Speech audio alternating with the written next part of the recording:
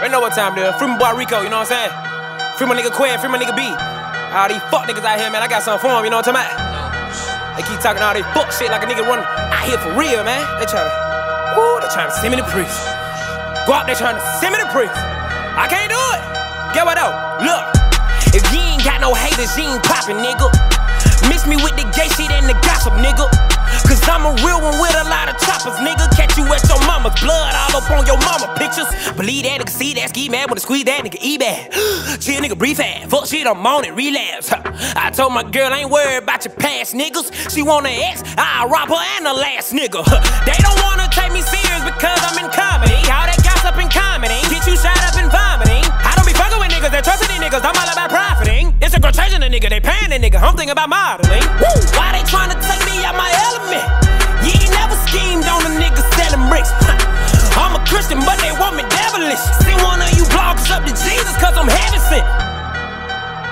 Wrong with y'all nigga, boy. Y'all better goddamn try that shit with somebody else, boy. Before I fuck around and take one of y'all nigga camera all that fuck shit. Boy, I'm on probation too. Y'all niggas to send a nigga to prison. Y'all better, boy, miss me with that fuck shit. Fuck you, man. And I ain't gonna say this shit no more, nigga. Let this be a warning to y'all fuck niggas. Post that. Fuck you, man.